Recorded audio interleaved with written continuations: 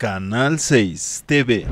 Los accidentes son impredecibles y en muchas ocasiones no sabemos cómo actuar ante ellos de la manera correcta. Es por esto que elementos de protección civil y bomberos de Tlapacoya se dieron a la tarea de impartir un taller de capacitación de primeros auxilios al personal del ayuntamiento de Ixtapaluca.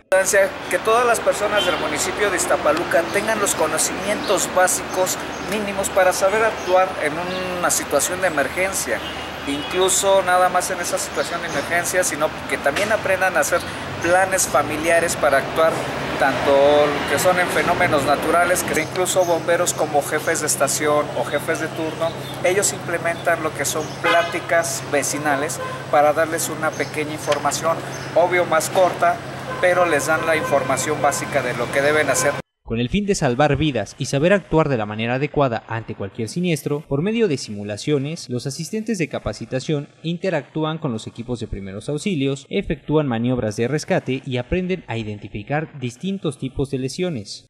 Dentro de esta información, Protección Civil enfatiza que los primeros auxilios son vitales, sobre todo en los cinco primeros minutos de un accidente, pero el tener conocimiento de ello no quiere decir que no tengamos que hablar a los servicios de emergencia.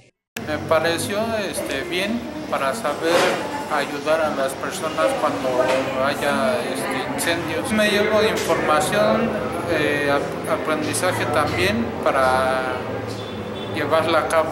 El conocimiento sobre los primeros auxilios es primordial en cualquier ambiente de trabajo, pues en caso de necesitarse, saber qué hacer y manejar la situación de forma serena hasta que lleguen los equipos de rescate ayudará a salvar las vidas de nuestros semejantes. Reportó para Canal 6 Javier Gutiérrez.